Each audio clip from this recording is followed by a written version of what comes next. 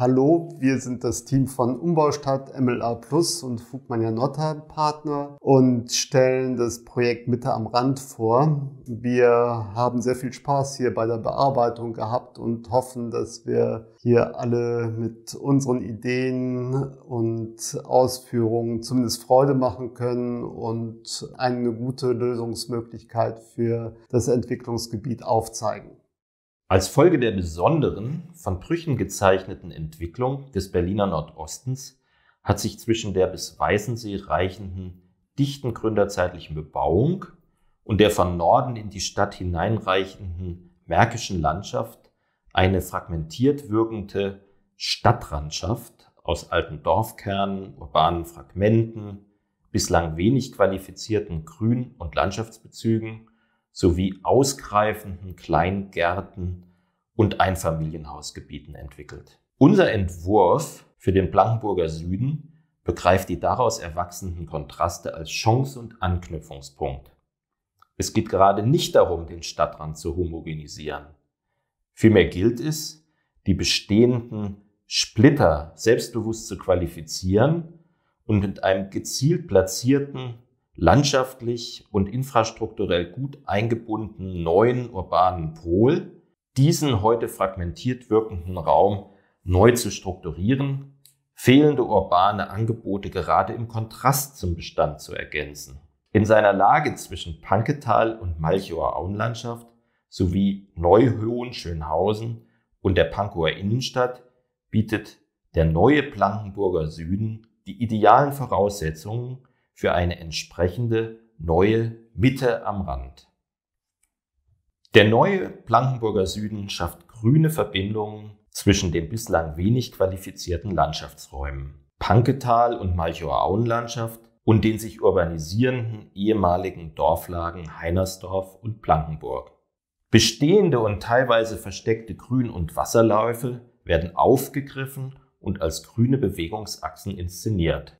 Im Schnittpunkt der grünen Verbindungsachsen liegt die neue Mitte des neuen Stadtteils, die sich der Topografie folgend nach Südost zur Malchower Auenlandschaft öffnet.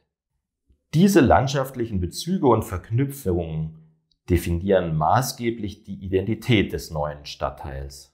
Neben der bildhaft inszenierten landschaftlichen Einbindung greift der neue Blankenburger Süden bewusst in die Stadtstruktur der Umgebung eingeschriebene siedlungsgeschichtliche Spuren zur Inszenierung einer eigenständigen Identität auf.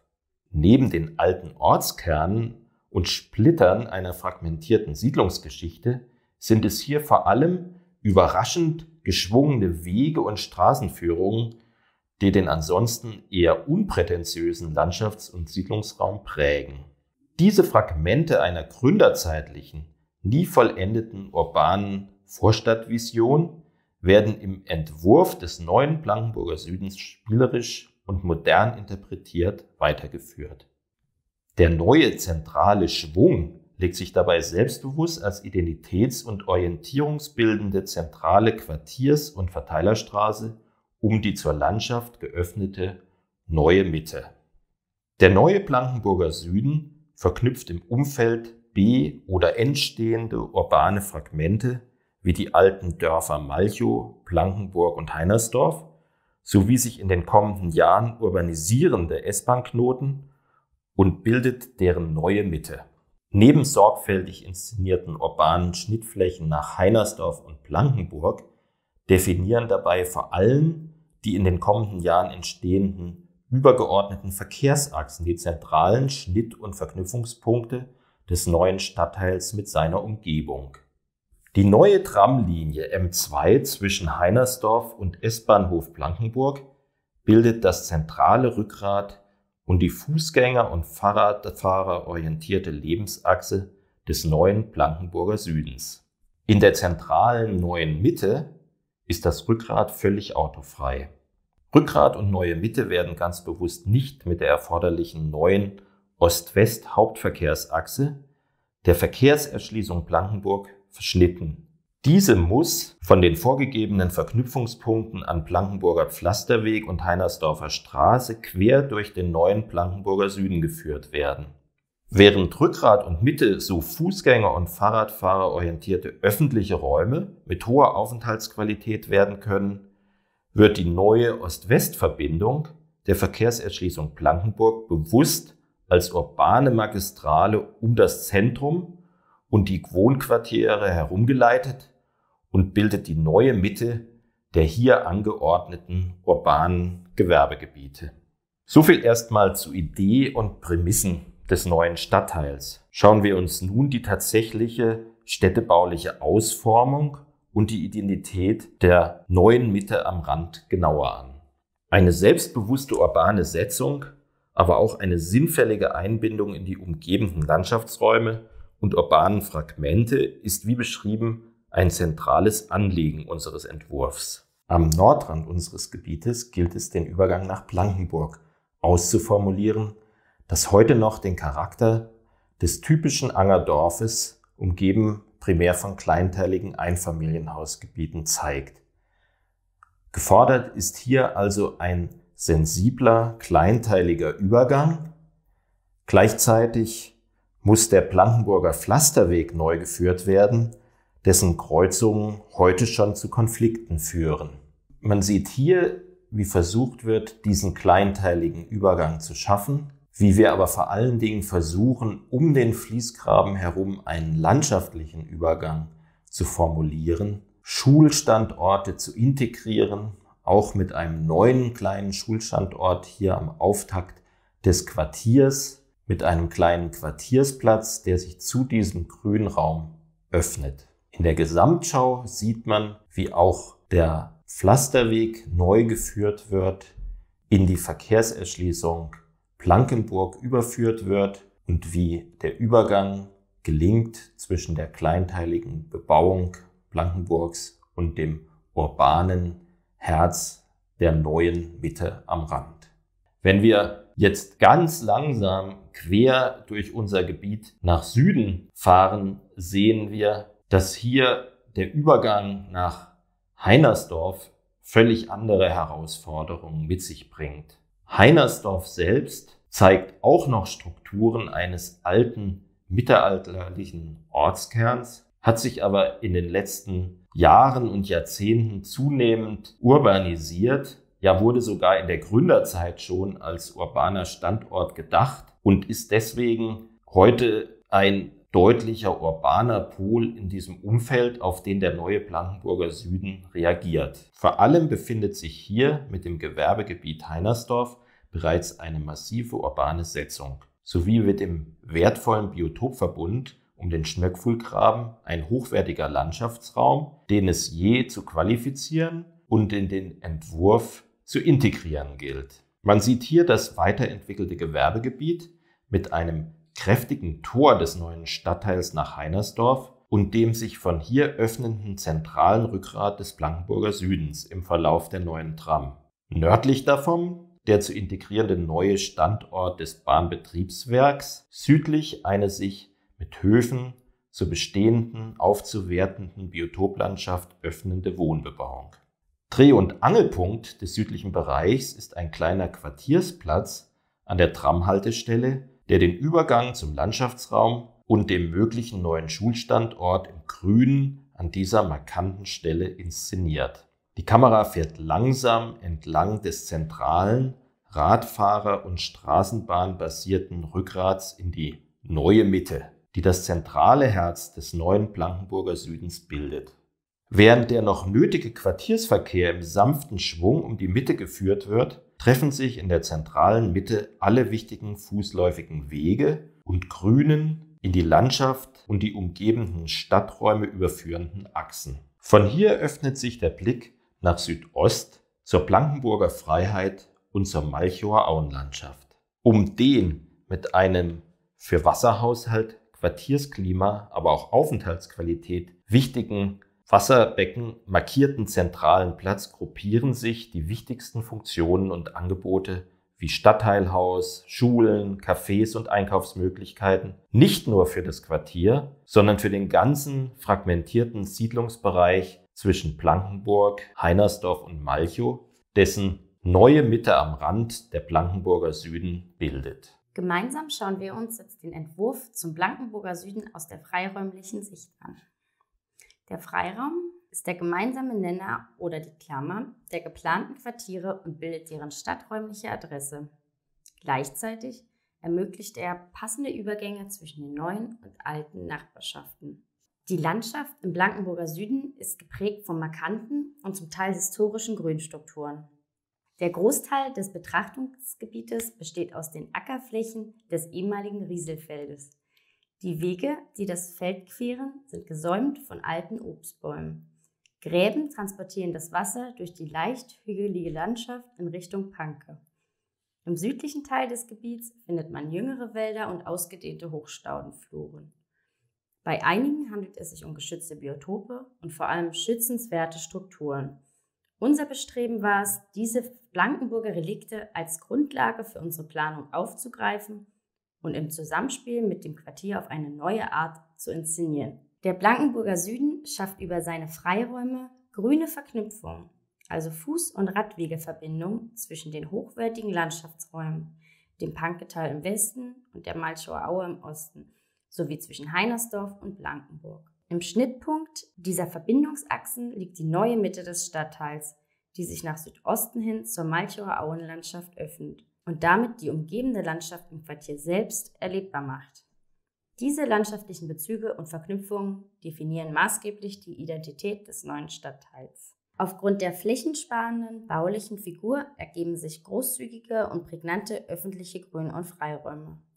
Diese liegen zum größten Teil in den äußeren Lagen und dienen somit den neuen und alten Bewohnern der Ortsteile Blankenburg und Heinersdorf als Treffpunkte, Kommunikationsorte sowie als Orte für Erholung, Spiel und Bewegung. Die Bausteine der Landschaft setzen sich zusammen aus Freiräumen mit unterschiedlichen Qualitäten und Atmosphären. Da wären zum einen die bestehenden Biotop- und Waldflächen im Süden, die als naturnaher Stadtwald mit wenigen Wegen und einer behutsamen Nutzung, beispielsweise mit Naturerfahrungsräumen, eine leichte Veränderung erfahren. Zum anderen ist da der Parkgürtel mit seinen Gärten sowie Spiel- und Bewegungsangeboten. Hier sind außerdem Garteninseln in eine offene Parkgestaltung integriert und ermöglichen es den Bewohnern, gemeinschaftlich zu gärtnern. Das Herzstück der Freianlagen ist die Blankenburger Freiheit. Der große Landschaftspark, der an die neue Mitte angelagert ist und sich der Topografie folgend bis hin zum markanten Hochpunkt im Osten zieht. Er wird mit einer weithin sichtbaren Landmarke, etwa einem Aussichtsturm, betont. Gehen wir nun einmal die verschiedenen Stadträume durch. Die Verlängerung der Straßenbahnlinie M2 erfolgt über die zentrale Achse von Süden nach Norden. Das Rückgrat, wie wir es nennen, ist die Lebensader des Quartiers. Von hier aus fährt man mit der Tram zur Arbeit. Hier kommt man abends wieder an und hat die Möglichkeit zu flanieren und einkaufen zu gehen. Unser Prinzip der Regenwasserentwässerung der Straßen, Wege sowie Dächer wird hier einmal deutlich gemacht. Das Regenwasser wird erst einmal auf begrünten Dächern zurückgehalten und verzögert in Zisternen unter den Höfen abgeleitet, wo es dann direkt genutzt oder versickert wird. Überschüssiges Wasser wird dann entweder ober- oder unterirdisch in die Gräben oder künstlichen Gewässer im Quartier geführt. Dieser Umgang mit dem Regenwasser trägt wesentlich zum angenehmen Klima des neuen Quartiers bei und dient der Kühlung der Stadt. Der Grünzug im Inneren des Quartiers hat neben der übergeordneten Funktion der Verknüpfung von Ost nach West auch einen starken Fokus auf die Spiel- und Bewegungsangebote für die Bewohner. Hier können die ganz jungen genauso wie die älteren Blankenburger in ruhiger und geschützter Umgebung spielen und sich fit halten. Der angegliederte Wasserverlauf ist ebenso ein wichtiger Parameter für ein angenehmes Mikroklima. Die charakteristische Ringstraße hat verkehrlich die Funktion einer Sammelstraße.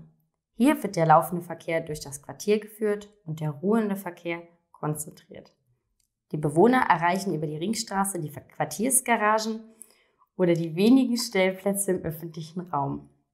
Somit werden die inneren Bereiche des Quartiers, also innerhalb des Kreises, weitestgehend autofrei. Als ein besonderes Element der bestehenden Landschaftsstrukturen werden die alten Obstbaumalleen für den Fuß- und Radverkehr ausgebaut und sollen über Fassadenbegrünungen und extensive Wiesen und Wasserläufe die Biodiversität im Quartier fördern. Die neue Mitte des Quartiers. Der große zentrale Platz mit seinen Sichtbeziehungen in die Landschaft ist der Mittelpunkt des Quartierslebens. Mit dem großen Wasserbecken kann man hier eine große Aufenthaltsqualität genießen, während man direkt am Wasser sitzt oder in einem der Restaurants den Abend ausklingen lässt. Die stark frequentierten öffentlichen und gewerblichen Nutzungen wurden bewusst hier konzentriert, um als neue Mitte Blankenburgs weit über das Quartier hinaus einen Mehrwert zu schaffen. Der neue Blankenburger Süden erfüllt mit über 10 Hektar großen Gewerbeflächen im Gewerbegebiet Heinersdorf und bis zu 30 Hektar bestens erschlossene Gewerbeflächen im Verlauf der neuen VEB die Vorgaben der Auslobung. Die Struktur des neuen Stadtteils schafft durch wenig determinierte Blockbildungen die Voraussetzungen für gemischte urbane Quartiere.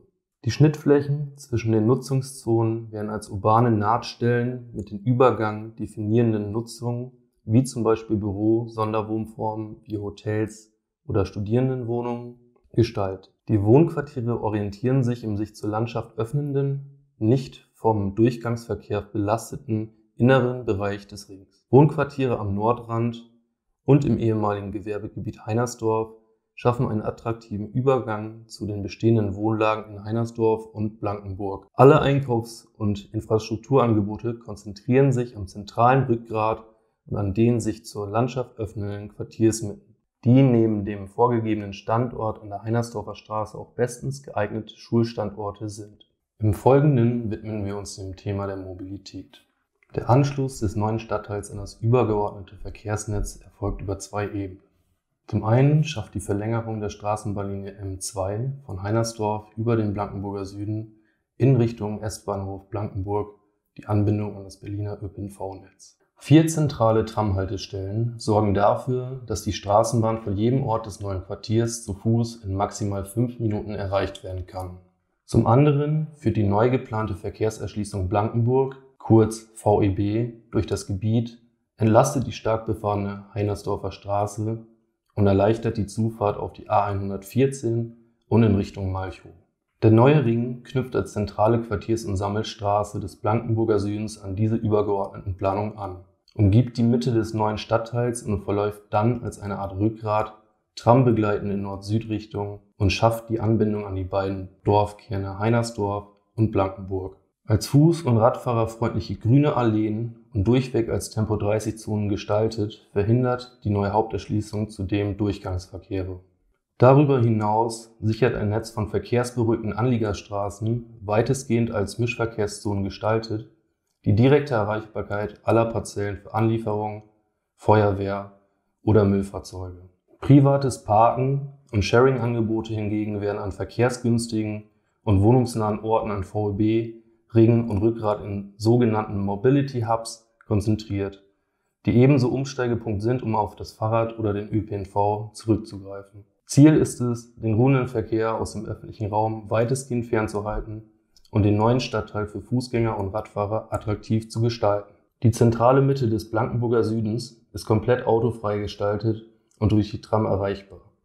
Das Netz grüner Fahrrad- und Fußwege findet hier ihren Schnitt und Mittelpunkt und schafft die Verbindung zu den neuen Freiräumen des Blankenburger Südens, dem neuen Wahrzeichen Blankenburger Freiheit sowie zu den umliegenden Siedlungs- und Landschaftsräumen wie Panketal und Malchower Auenlandschaft. So, wir haben jetzt alles gesagt und ich hoffe, es hat allen Spaß gemacht und alle haben jetzt eine Vision des Blankenburger Südens vor Augen. Danke.